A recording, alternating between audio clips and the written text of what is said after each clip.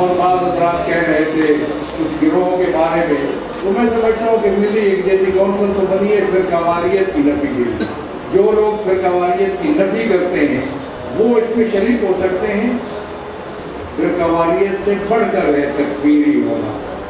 वो कैसे इसके अंदर आ सकते हैं? वो खुद सोच लें कि उनको क्या करना चाहिए ताकि मिली एक जैसी